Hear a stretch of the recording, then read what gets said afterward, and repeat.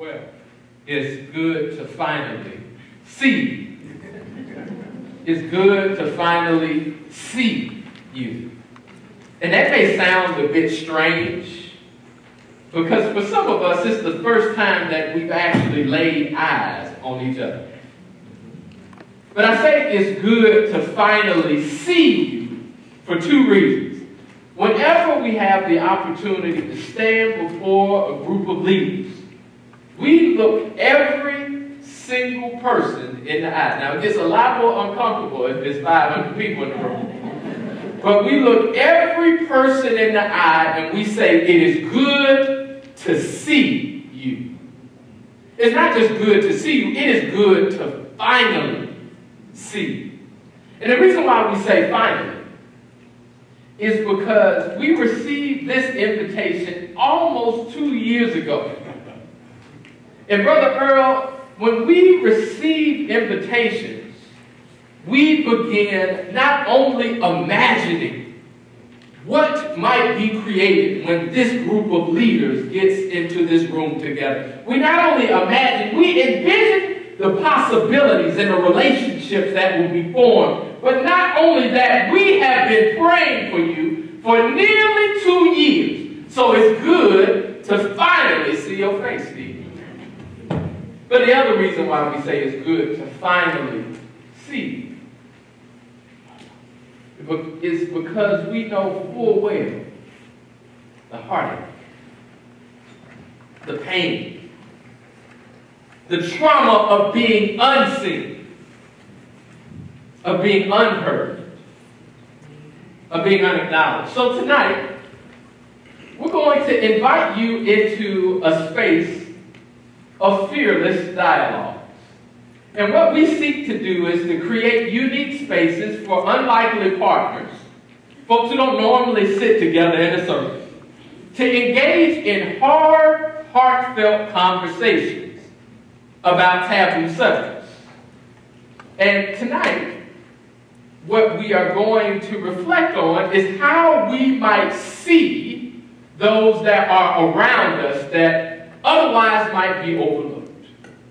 How we might enhance our vision to see those who may be invisible. But in order to do that, we'd like to invite you all into a laboratory. Right? And so this looks like an ordinary, well, it's not an ordinary because it ain't and linoleum on the floor. This does not look like an ordinary fellowship hall, right? Uh, I would not like for you all to think about this as a fellowship hall or a worship center. This is a laboratory. And like any good laboratory, my brother, sometimes some things have to blow up or break down in order to get to a breakthrough. And so tonight we're going to ask that you not only think with this, but you think with this and this. Everybody raise your right hand in the air, please.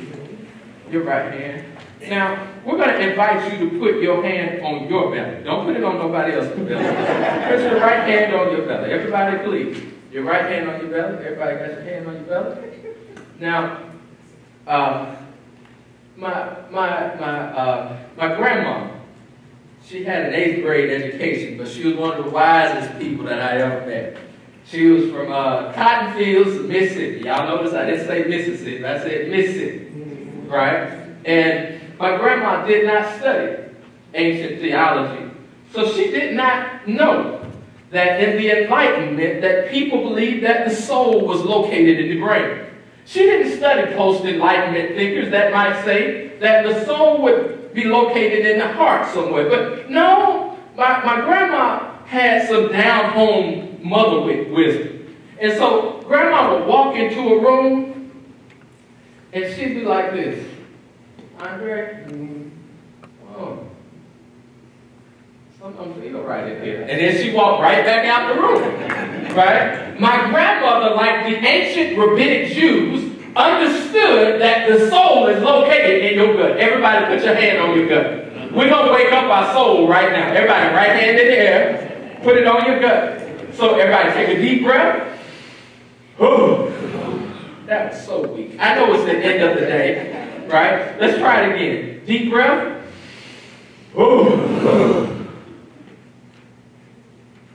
Let's wake her up. Let's wake him up. All right, one more time. ah, I felt better, right? So now, now that your soul is awake, we're going to ask that you not settle with what first comes here, but you learn from what is coming from here. Uh, I'm going to share one more story, and, and, then, uh, and then we'll talk, because if I talk the entire time, Miss Aspirin, that's a fearless monologue, right? so we, are here to have a dialogue. But let me tell one more story. So I was in um, this church in South Georgia, and I, I was uh, sitting on the back row, and there was this older woman, and she just stared at me. It was so uncomfortable. I was like, what, what is going on? And she just kept staring. Not saying anything. The church service was going on. And then she leaned over to me and she said, baby, if you don't want to get old, die young. And then, then she, she turned around and then she started staring at me. And it was really uncomfortable this time. And she said, one more thing. Yes, ma'am. The longest journey you will face in life is the trip from your head to your heart. And then she got up and walked out the church. I was like, this is the strangest sermon I've ever heard. right? But we're asking now that you take the long journey from your head to your heart, to your gut. Since this is a laboratory, we'll begin with our first experiment. Angie got it. All right. From your head to your heart. Yes? We're going to talk about hearing. What do we hear from each other? So what we're going to do is an experiment called Cut Dead. Cut Dead. This comes from a 19th century philosopher and psychologist William James. I'm going to need a volunteer, so I'm taking a little bit of time for someone to get their courage up to work with me. So I don't have to pick somebody, because I will, right? No, we're going to have a volunteer. So what William James said was that all human beings have a fundamental desire to be seen and be perceived as favorable to other people. Basically, it means we care what other people think. And we want people to see us. So we do things to please other people. And this shared desire is acknowledged and confronted by a shared experience of being cut dead. So I'm going to ask for my volunteer on your paper, everybody should have a paper, and their seat. There's a quote by William James under number three, acknowledge, unacknowledged all around us. You see that quote? Who's my volunteer? We just need one reader. Just, just. Uh, oh, I saw a hand. Yeah, I saw two hands. I, but I saw this hand first. Oh, yeah. Stand up. Okay. So, give me your name. Parker, it's good to see you. So, I want you to read this quote. But I need you to really read it so that the people feel it in their gut and with their heart. So we need you to channel your inner Broadway part. Yeah, come on, Parker. Oh, yes, and we have the microphone. There we yes, go. You ready? You ready? Go no more fiendish punishment could be devised, or such a thing physically possible, that one should be turned loose in society and remain absolutely unnoticed by all members thereof. If not one turned around when we entered, answered when we spoke, or minded what we did, but if every person we met cut us dead yeah. And acted as if we were non-existent things, the kind of rage and impo- the kind of rage and impotent despair would long before well up in us, from which the cruelest bodily torture would be a relief. Yeah. Thank you. I'm gonna read it again, so you just hear it in a different voice, okay? No more fiendish punishment could be devised for such a thing physically possible that one should be turned loose into society and remain absolutely unnoticed by all members thereof. If no one turned around when we entered, answered when we spoke, or minded what we did, but if every person we met cut us dead That's dead. and acted as if we were non-existent things, Things, not humans, things. a kind of rage an impotent despair will before long well up in us, and from which the cruelest bodily torture would be a relief. I'm going to ask you to get in groups of two or three. Some of your groups have more than two or three people break off. But take a moment before you do that and think, not with your head, but with your, with your heart, what you just heard. And then in groups of two or three, I want you to think about, feel, excuse me, feel, tell what it was like to feel if you've ever been cut dead. How does it feel? Groups of two Cut dead. or three, not groups of four or five, groups of two and three. So if you're a group of six, split. Okay. Groups of two or three. Let's talk. Let's talk. How does it feel? How does it feel? Have you walked into a room and nobody turns around and you it how does it feel? Come on, let's talk, let's talk, let's talk, let's talk. How does it feel? Have you have you been into a place when people see you but they don't see you? I've been there. Groups of two or three. How does it feel? What is it? What, what is this rage? Have you felt this rage? Have you felt that despair? How does it feel? What does it mean to be cut dead? Have you been there? What does it feel like? When somebody says something to you and they don't mind what you say. Sacrifice for your professor, Lord. That's feeling. Feeling. Now what if you think about it? How does it feel? Use your heart. Use your heart.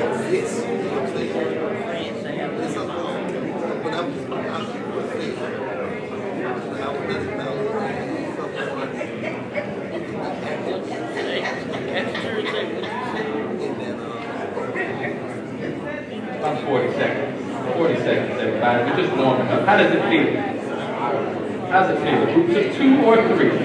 Have you been there before?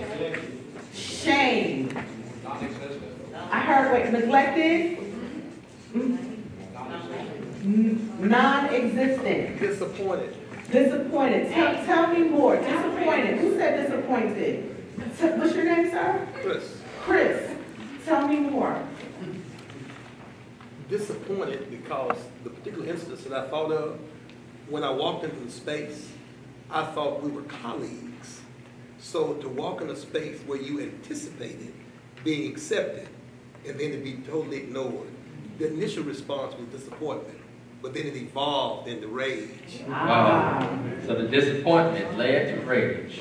a big ah. So these were your colleagues. These were people that you thought were going to embrace you. All right, thank you, Chris. You got it. Okay, so back into your roots. No, no, no, Oh, more words. Oh, I'm sorry, more words, more words. Come on, what is? Ignored. Scared. Lonely.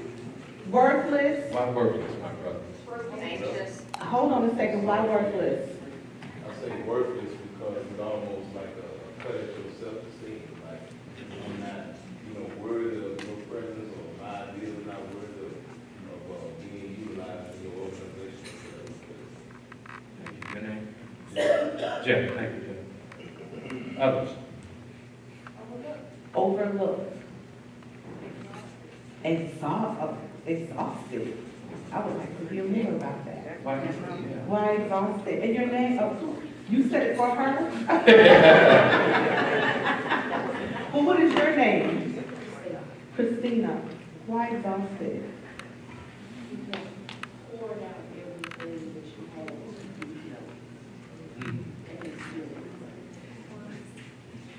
out everything.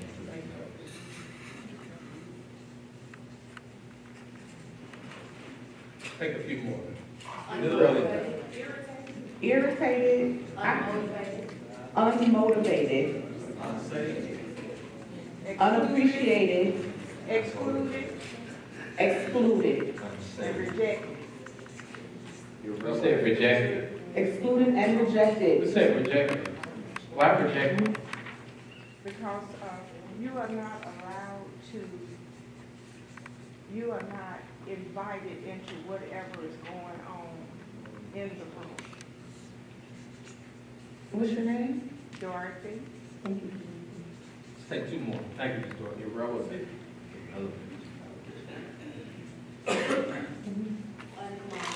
Unclaimed. Ooh. Who said that? What's your name?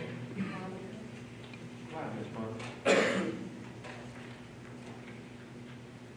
Because in that particular situation, the person I thought I could trust betrayed that trust. Mm. So I claimed them as my friend, and I thought they were claiming me as their friend. Okay. But I guess when the road met the road, their true character came out. Mm. So, Ms. Monica said that she saw the true character when the crisis unfolded. Let me share a little bit about this, and then we're going to move to our next, our next experiment. So, uh, it, it, it's strange that William James wrote these words in 1890, and they still feel very real to us today. But some of you all have heard of William James. I know he, he, made, he was a famous psychologist and pragmatist from, from Harvard. He wrote this 600-page book called The Principles of Psychology. And what he was basically saying is that human beings are social selves and that they have this innate need to be in relationship with, with others. But something happens when we are stripped of that, that, that, that, that need to, to be in relationship. He calls it cut dead. So when we're working in urban neighborhoods, y'all urban, right? We're working in urban neighborhoods, I'll just say William James was a thug, right? Because in this very academic 600-page text, he uses a slang term. Cut dead was a 19th century slang term that meant to be snubbed completely or deliberately ignored. What does it mean for someone to deliberately, they know you're sitting here, and they ignore you anyway? And so I, I was a student at Princeton, uh, and I, I, was working on my doctoral, my doctoral, uh, my dissertation. And so I would be sitting in my, my carrel, just typing away. And then all of a sudden, it's just right, right, Rodriguez, I'm sorry. Rodriguez. So all of a sudden, Rodriguez, I get these knocks on my door. It'd be around lunchtime. And I don't know if they were passing out flyers or what. So I, I'd be typing, and I get these knocks around noon, Rodriguez.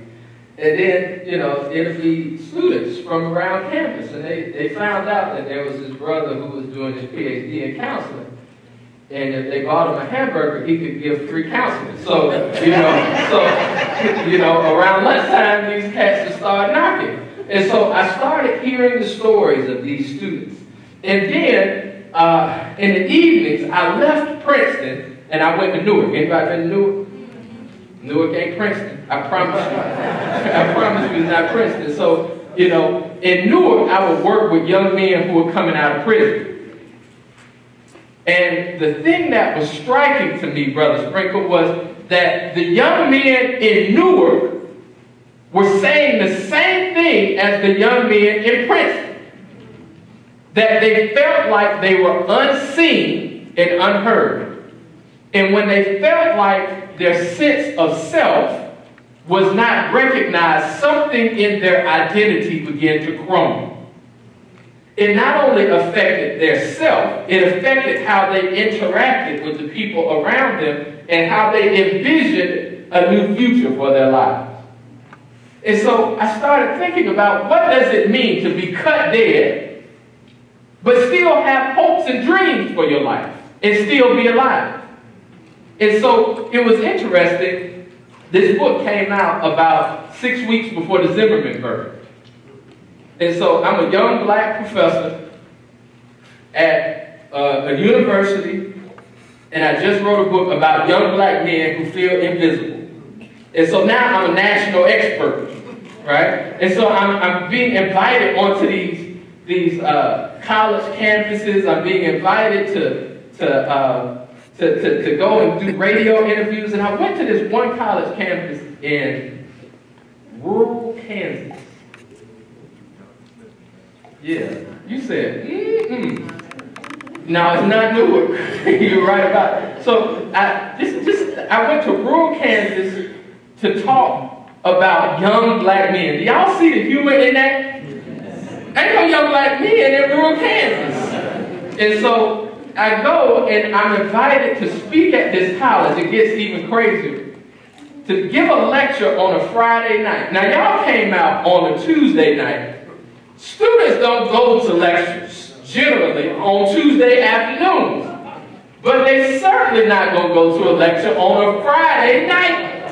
So I'm doing a lecture in rural Kansas on a Friday night about young black men who feel muted and invisible. And Brother Wells, I walk into the auditorium and it's full of white senior citizens. yeah, it's, it's even funny because there was a senior citizens home right next to the college. But as we started talking about what it feels like to be invisible, to be cut dead, they said it feels hurt. I, it, it, I feel empty. I feel demeaned. I feel neglected. I feel shame. The same things that these young brothers were saying, they were saying. And I began to, to theorize that this is a human problem and not just one well, I do think young black men and young girls are, are still highly susceptible to being cut dead, but this is a problem that we all. And so what we're now going to do is to stretch ourselves. Because what we're trying to do is to not only feel what it must be like as an invisible person. We're not just thinking about that theoretically. We want to ground ourselves in it. So we need one more reader. Experiment two. Jeff. Okay? So Jeff. Um, thank you, Parker. So Jeff, we want you to read with gusto. Right? You're going to win a Grammy and an Oscar. from this reading. Right. We'll throw in the Tony, right? Yes, sir. You get the triple crown, all right? So, Jeff, we want you to read this piece by Kipling Williams. But as you read it, we're going to ask that everybody put your paper on the ground. Now, this is called a call to remember. Remember me. So we're asking you to remember a moment. We're not going to think about this theoretically.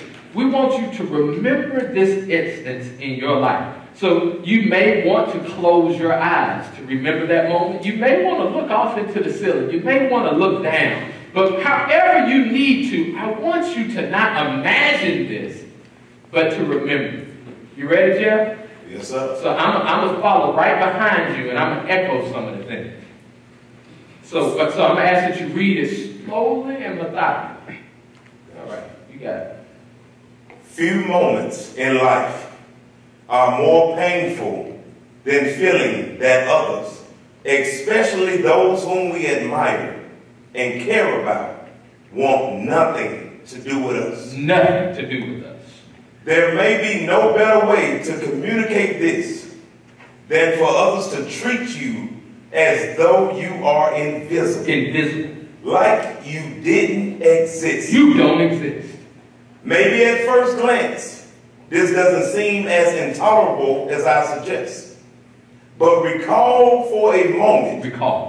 A situation in which your friend, Your friends, family, family, co-workers, co-workers, or relationship partners acted as though you did not exist. you don't exist. Remember the feeling Remember, as though you were invisible. invisible.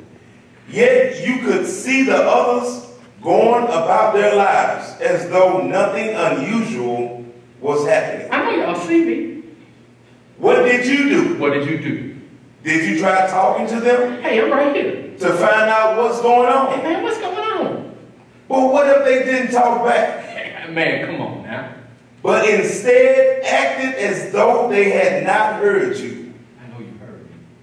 Maybe you waved your hands in front of their You face. see me, I'm right here.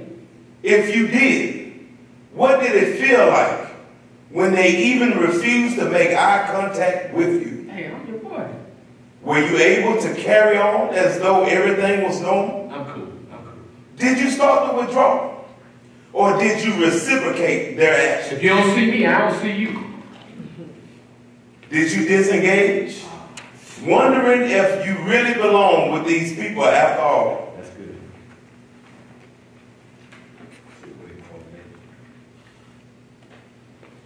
Recall a moment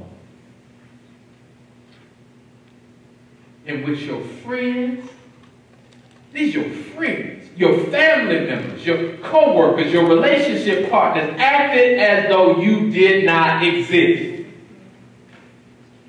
Remember feeling as though you were invisible, yet you could see the others going about their lives as though nothing unusual was happening. What did you do? Did you try talking to them to find out what, what's going on? But, but what if they didn't talk back? But instead acted as though they had not heard you in the first place. Maybe you waved your hand in front of their faces. And if you did, what did it feel like when they still refused to make eye contact with you? Were you able to carry on as though everything was normal? Did you start to withdraw? Or did you reciprocate their action? You don't see me, I ain't gonna see you. Did you disengage? Wondering if you really belong with these people after all. Sit with me. Sister Angie and I are going to give you a few instructions.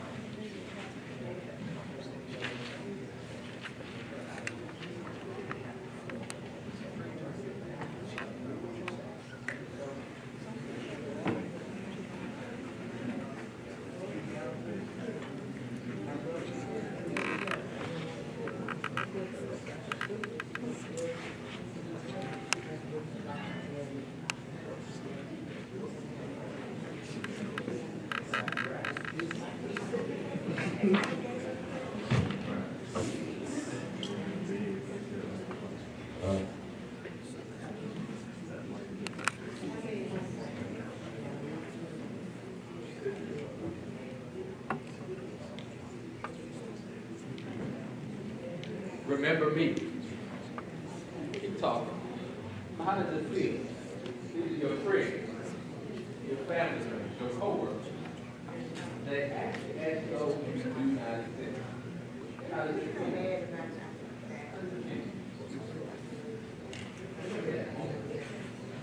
How did it feel? This is a call to remember. We're not asking you to imagine. What did you do? Did you did you wave your hand in front of their faces? Did you did you disengage, wondering, do I really belong to this restaurant? What did you do? How did it feel?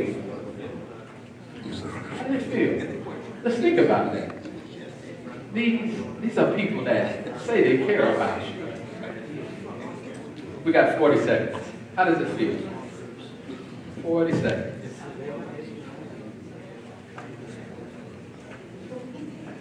I'm not asking you to imagine. Married people in the room, y'all know what the silent treatment feel like. Yeah. Y'all have been there. You weren't always the cool kid. In sixth grade, they all had a textbook and they left you out. You remember that. It happened in grad school too. Yeah, I mean, this, it happens in the boardroom. Come on. It happens in the church house. You all know what it feels like. Come on, 15 seconds. 15 seconds. 15 seconds.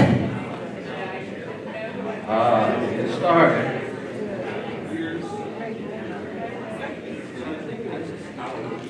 We got a bonus 30 seconds. How does it feel? How does it feel?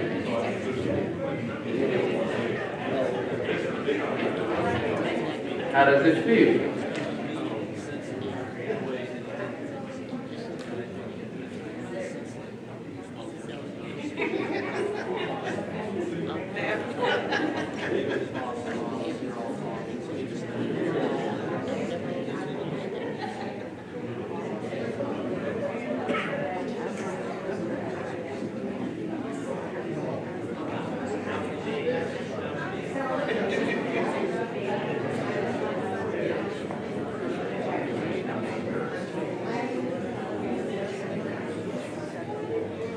Ten, nine, eight, seven,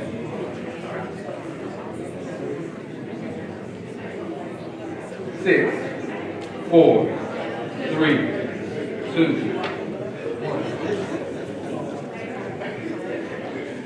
Okay, everybody, let's clap, let's clap, let's clap, let's clap, let's clap, let's clap.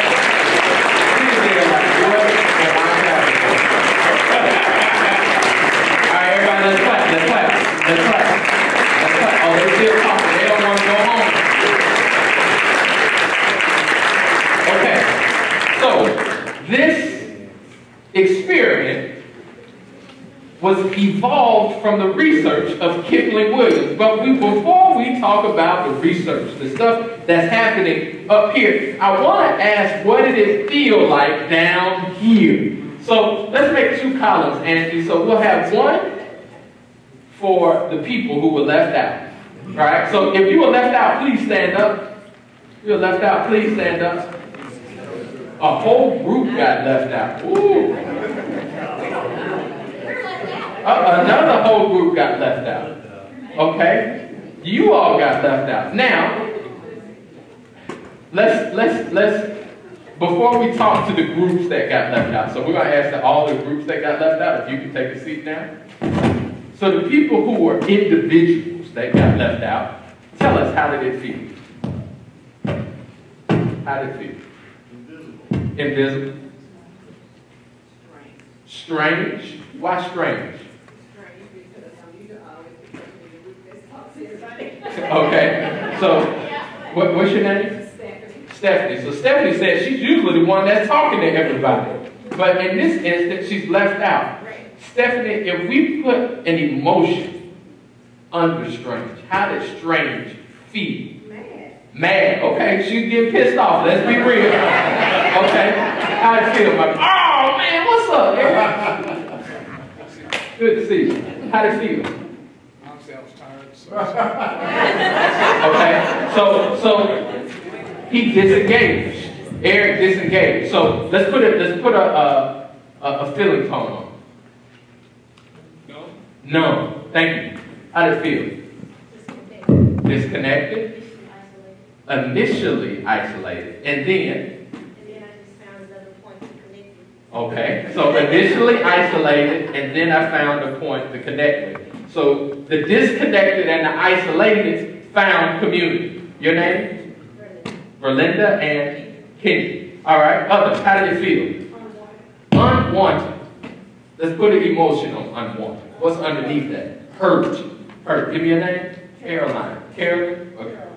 Carolyn. Okay. Others, how did it feel? sort of actually visible in the sense that you stick out. Hmm. So I, that feels vulnerable to me. Vulnerable. Thank you, Lucy. Yeah, level of uh, insufficiency. Insufficiency. Okay, let's put a, let's, that's a real good word, but let's put an emotion underneath. Probably worthless. Worthless. All right, thank you all. We're gonna come back to this group in a minute. Okay, now the groups that got left out, how did you all feel? Y'all stand, the groups that got left out? How did, how did you all feel?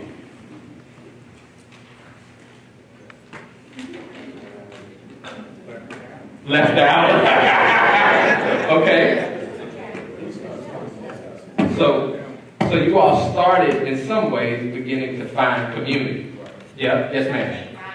Anxiety, okay. Over here, Beneath, beneath, say more.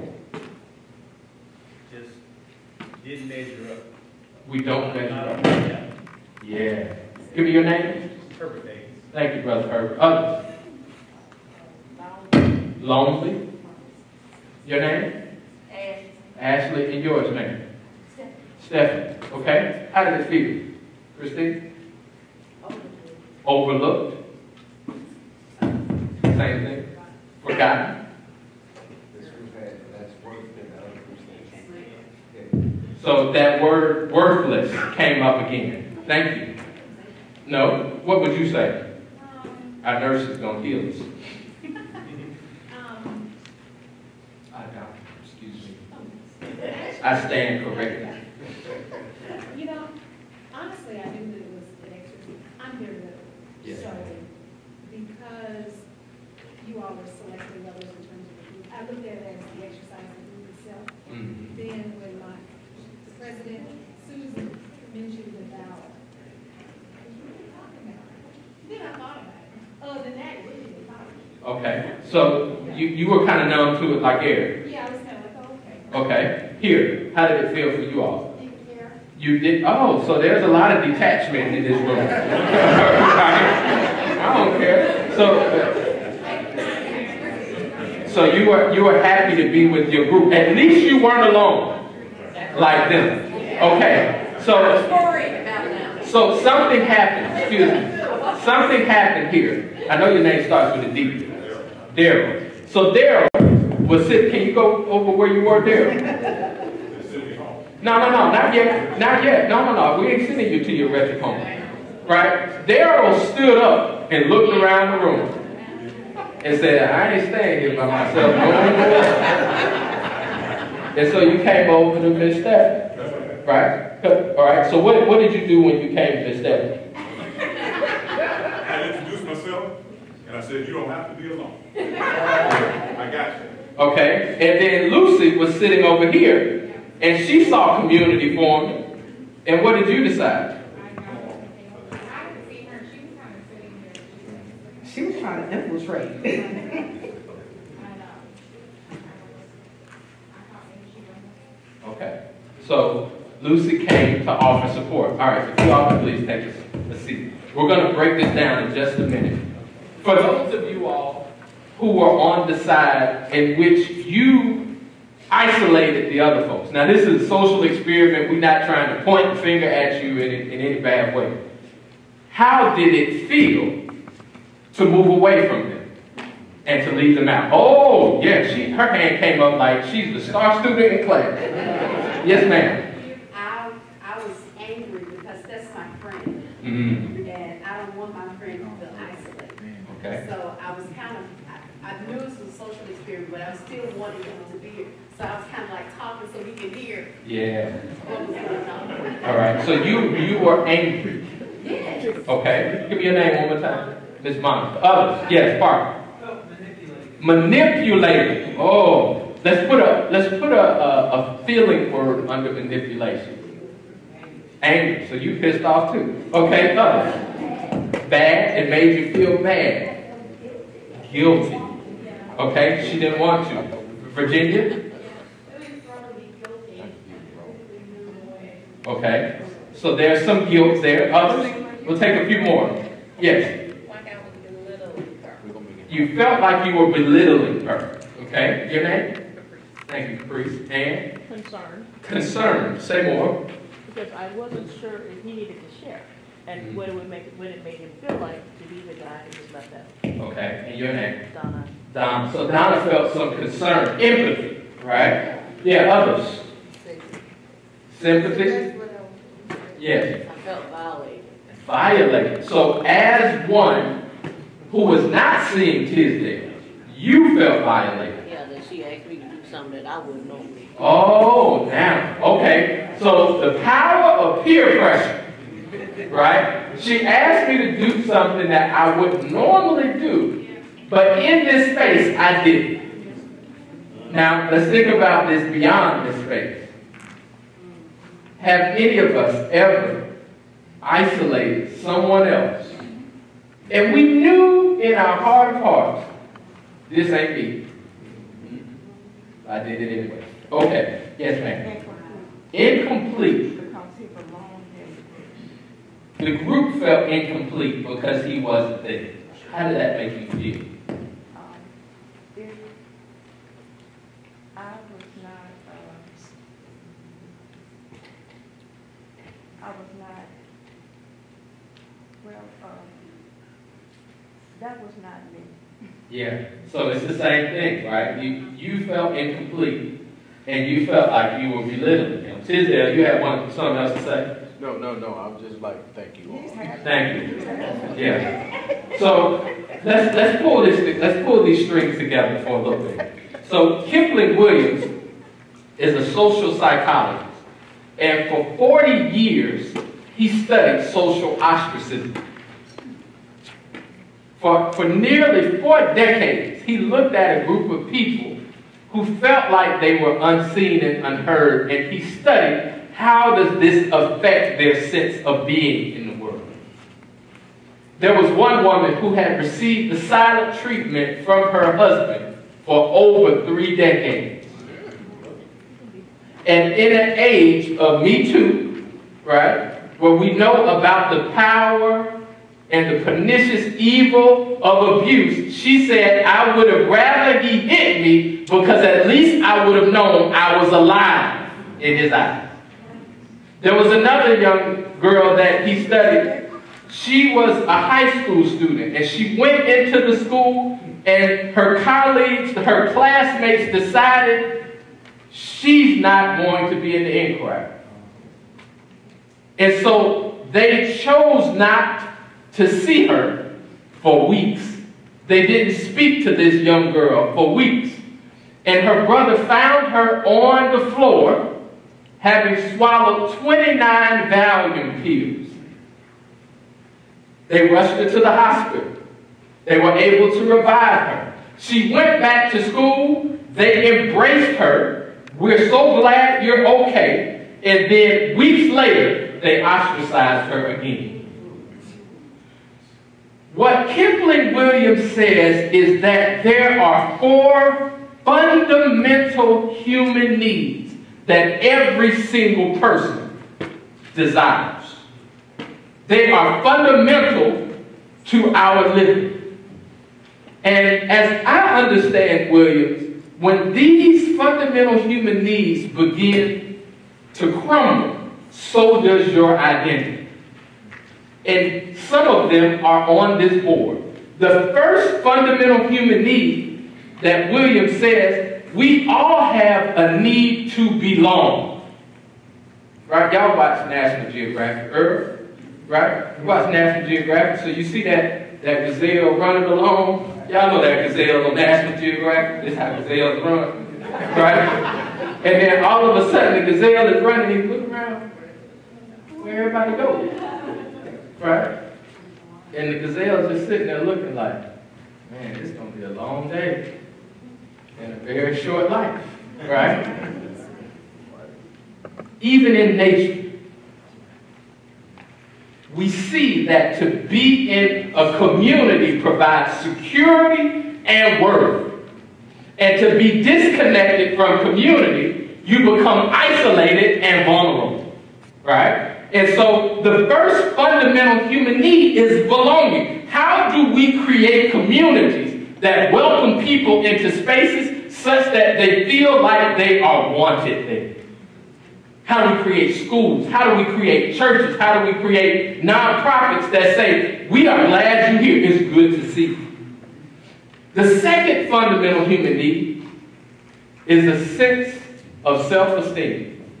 Now, you all said that you felt isolated and vulnerable, and that caused your that, that, that caused you to feel like you did not belong.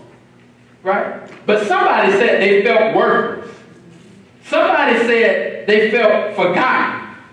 Somebody said they felt angry. And the reason why you begin feeling these things is because this internal conversation starts to happen. What did I do to get excluded? Maybe I dressed the wrong way.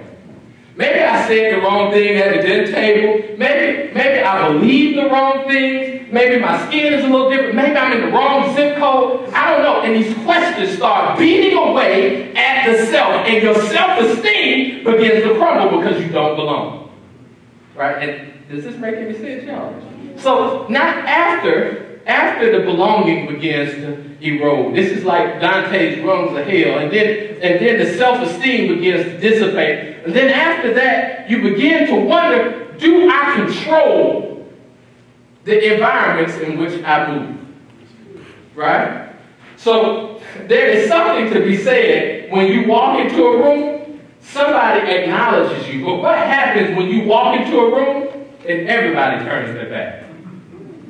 Maybe because you got a felony.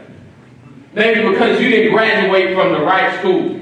Maybe because you, you believe differently or you love differently. So when you walk into a room, you can't control the environment, but what you can control is you can hit them, you can hit them, and then they see you. That's what happened in Newark. You don't see me? Just wait. You about to see me now. Belonging, self-esteem, control.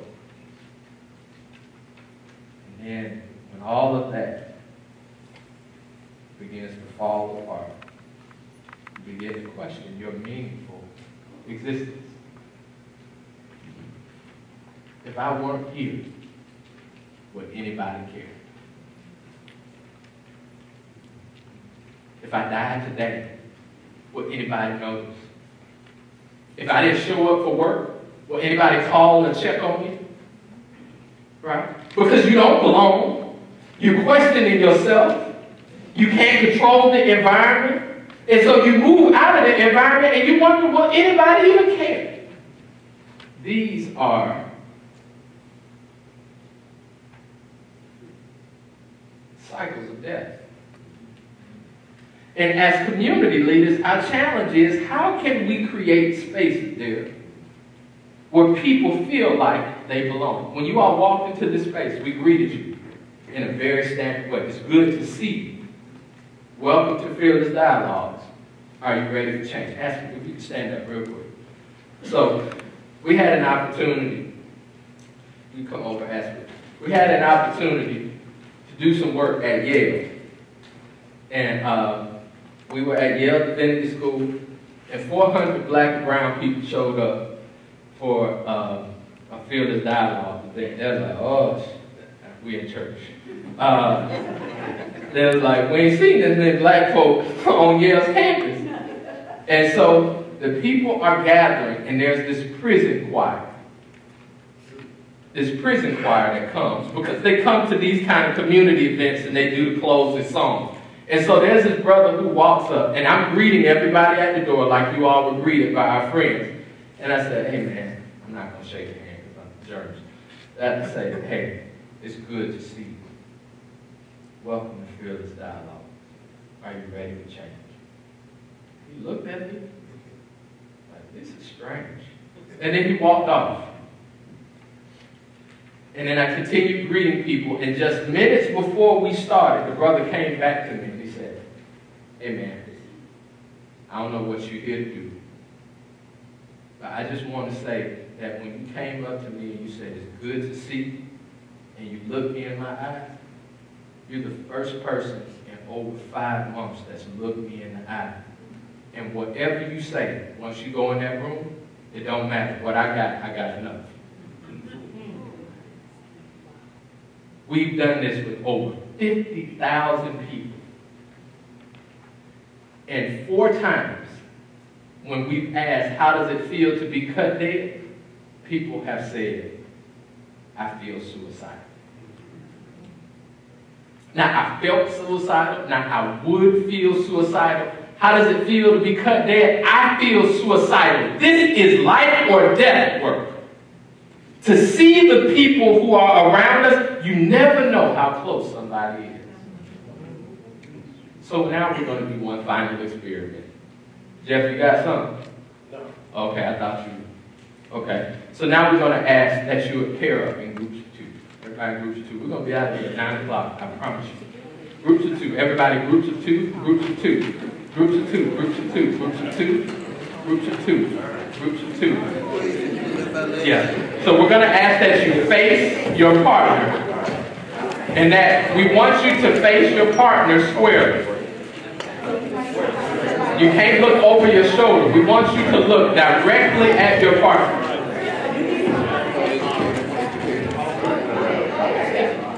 Chris, you need a partner? Anybody need a partner? Anybody need a partner? Anybody need a partner? Okay, Chris, she needs a partner over here. Chris, she needs a partner right there. You need a partner? Yeah. Face each other, please. Okay, so now we're going to ask, we're almost done, you all. But now we're going to ask that you put everything on the floor. That there's nothing in your hand or in your lap. And you should be seated squarely in front of your partner at a comfortable distance, right? Yeah. she said his mom said, I need some space. Okay, at a comfortable distance. Right? So now we have talked about what it feels like to be invisible. What it feels like to be cut dead. You all have stated what it felt like. Right? You've also stated what it felt like when your friends, your family members, your coworkers acted as though you did not exist. I did not say this. The work of Fearless Dialogues is built upon three pillars. See, hear, change. It's good to see you. Welcome to Fearless Dialogues. Here, are you ready for change? Change. See, hear change. Our belief is that if you cannot see the person, if we are people of faith, if you cannot see the people around you as whole human beings made in the image of God, anything that they say, you cannot hear them fully. And if you cannot hear the people nor see them as whole human beings, any change that is created is not sustainable. So how do we see? That's the first thing. Tomorrow we'll work on hear and change. This is a seeing exercise. We call this exercise, now before I give the name, please introduce yourself. Share your name, and then I'm going to ask that you designate one person as a person A and somebody as a person B. Who's person A, who's person B? Share your name.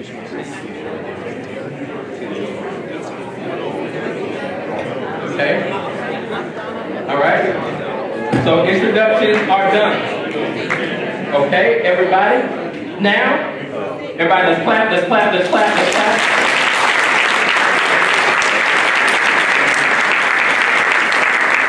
We call this fearless dialogue.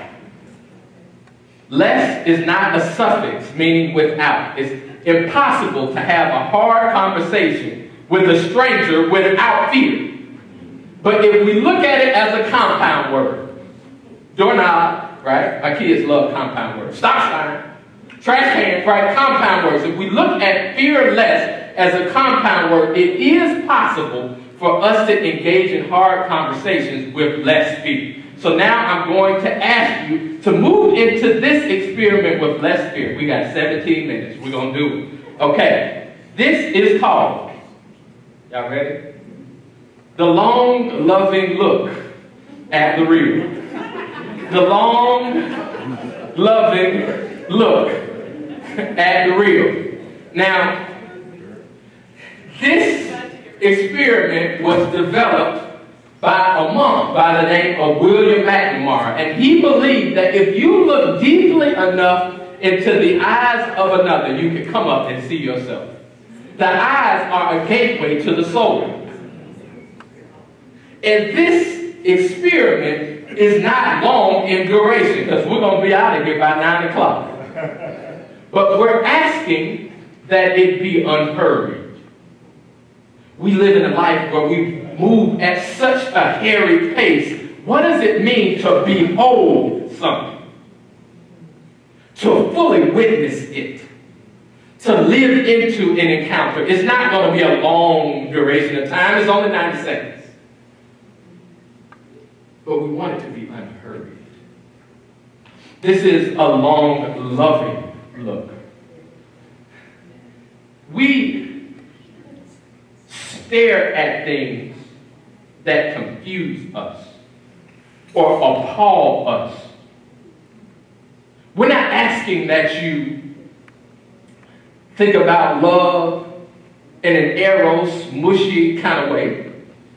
We're thinking about that you would offer a loving look, a non-judgmental look, not a gaze, not a stare, not that game you played when you were in fourth grade, your eyes start watering because you try not to blink. We're not talking about that kind of look. We're talking about a long, loving look. And then finally, the person that's in front of you is a real human being. Right? It's the end of the day. That lipstick probably worn off by now, right? It's the end of the day. Somebody, they might have shaved and it, they missed the spot this morning, now it look like a patch. I, you know, it's a real person in front of you. And in the words of, of Thomas Callaway, the great philosopher, also known as CeeLo Green, the person in front of you is perfectly imperfect. And so now, we're going to invite you to do this long, loving look at the real, and this is how we will do it. We're going to ask that you would face your partner. And that you, person A, in a minute you'll ask for permission of person B to look lovingly at them. Now, we want this to be a safe experiment. So we're going to ask that your loving looks be kept above the shoulder. Everybody, our loving looks will be above the shoulder. Now, this is a, a silent experiment. It's, it's meant to be done without talking. It's a contemplative experience. But sometimes in these moments, people may giggle. Because we know that laughter at times can take us to a deeper and more meaningful place. And finally, we recognize that this may be challenging for some of you. And before you say, I can't do it, I want you to reflect on the fact that we have done this experiment in prisons with gang leaders who hate each other. And then they're seated in front of each other having a long, loving look at reader. I'm not sure if there are any gang leaders in the room. Hope not. But it's possible. I, you know, I, I love my people, right? But we're going to invite you to please try and fear less. So now, if you are able to give it a shot. This particular experiment transformed lives. We're going to invite person A to please ask permission of person B. May I please look at you loving? Please ask permission now.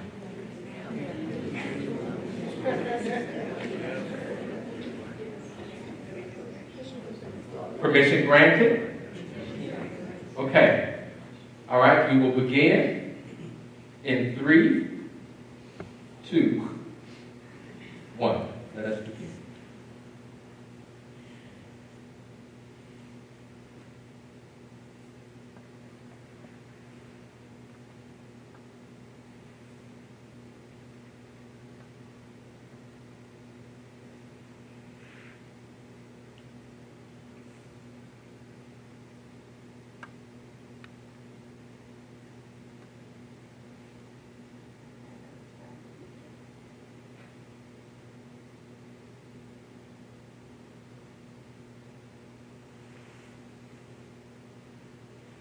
Okay, time, everybody, time. Right hand in the air, right hand in the air. Now you really don't want to do it. Put your hand on your belly. All right. Deep breath. Sounded different, didn't it? Okay. Now, person A, please thank person B. Okay. Now, person B, please ask permission of person A. May I look at you loving? Now, now it's important, person A, that you receive the loving look. How often do leaders give and give and give and give, but they cannot receive gifts that replenish them? Person B, would you please ask person A? May I please look at you, love? Permission granted? We will begin in three, two, one.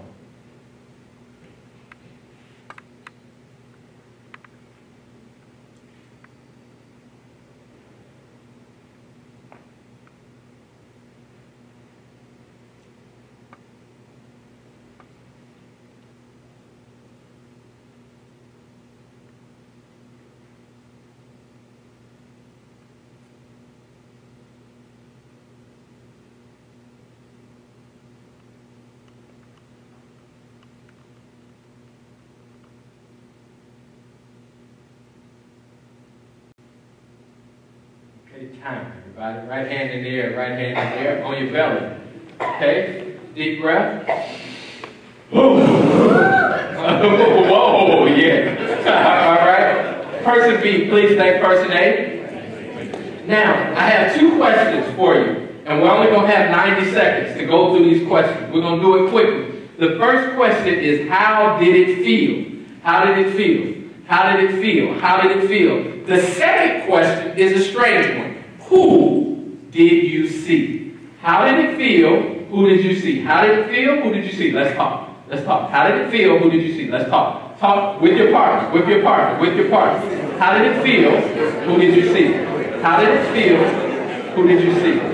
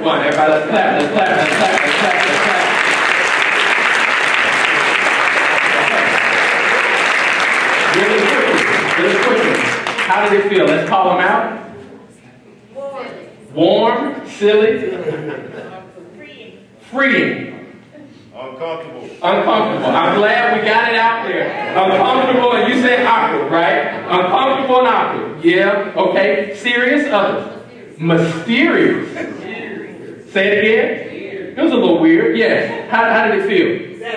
Natural. Say it again. Pure.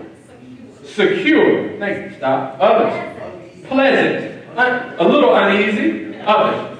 Great. Loving. Come on. Any, any more? Engaging. Trusting. Familiar. Self-conscious. Say, say it again. Self-conscious. Unsettling. Self-conscious. Others. Yes. Looking at my person, I felt peace. When it was their turn to look at me, I was nervous. Okay. So that, give me your name one more time. Kenya. Kenya says she felt peace when she was looking at someone. When they were looking at her, it felt nervous. Right? Why is that? I think that's, it, you know, we, we've done, I, I, I was sharing with uh, Courtney in the back that we've done this work in, in, in Ferguson. And the folks in Ferguson, when we did that, remember me, and we left folks out? They walked around the room and found the people who were left out, and they formed their own group, right? They're organizers at their core, but they said the exact same thing that Kenya said, that they felt some kind of peace when they were looking at other people, but they felt anxiety and discomfort when folks were looking at them. That is a recipe for justice fatigue and burnout. When you can give and give and self-empty yourself, but you do not have the ability to receive the love of another. Who did you see? Who did you see? Who did you see? I saw myself, right? Who did you see? A child of God. Who did you see? I saw my daughter. Others. Passion. Passion. I saw passion. Uh, Others. My grandmother. Who did you see? I saw my son. I saw my son. If, yeah, who, who did you see? Come on. A couple more. Who did you see? Friend. A friend. Three more. Joseph Johnny. More of a what, but I saw a lion. I Oh, saw that sounds weird. a lion. Okay. So Parker saw, saw a lion, right? But in, in, if, if we think about it as an archetype and a metaphor, a lion is a very powerful being. Others. Who else did you see? My sister. My sister. Now I need three volunteers. Just three volunteers. Three volunteers. Kenya, come on up, please. I need two more. Two more. Come on, Jeff.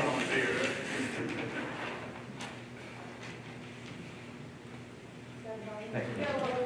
Dr. Williams. Okay. So I want you all to see where we have come.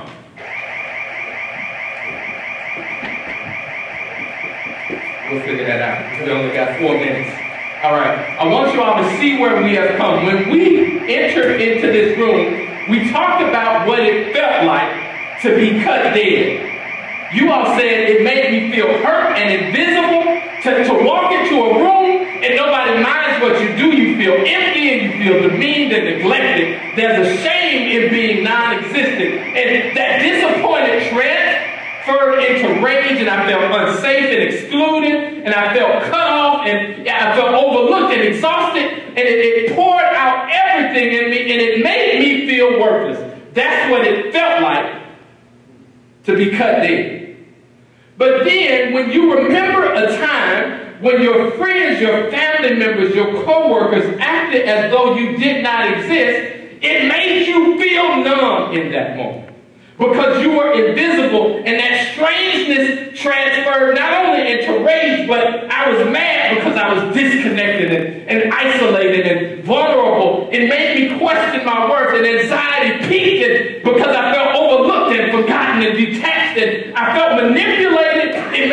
Feel guilt. I felt belittled. I wanted to empathize, but I felt violated. That is what it felt like.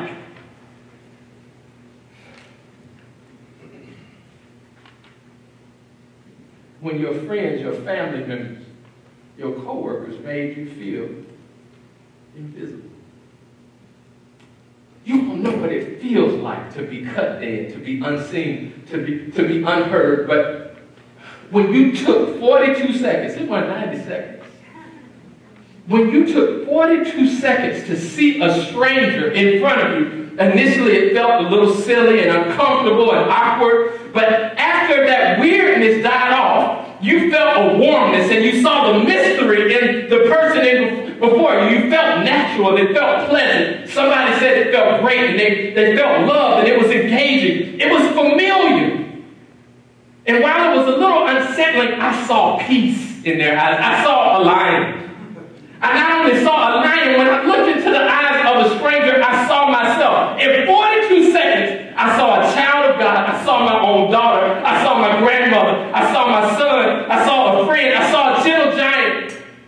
In 42 seconds, what would our communities look like? If we live our lives in 42 second intervals. What would our churches look like? What would our schools look like? What would our government look like if we took the time to see the people that cross within our three feet? One challenge for you. And we'll continue tomorrow if you could join me. Over the next three days, I challenge you to see three people. There are going to be some measuring tapes as you walk out of this room. They're three feet long. We invite you to see three people that cross within your three feet because you know what it feels like to be invisible. And you know the power of 42 seconds. And the checkout line, hang up your telephone and look them in the eye and say, how you doing, James? And notice James will turn his head to the side. And sometimes James will say back to you, I've been standing here for five hours and nobody's looked me in the eye and called me by name. 42 seconds can keep somebody off of that edge. It's 9 o'clock. We're grateful that you all invited us to Memphis. If you have time, be, visit with us on tomorrow around 11.30. We're going to talk about hearing and changing. But may you find peace on your journey. Thank you to our beloved friends. Y'all good night.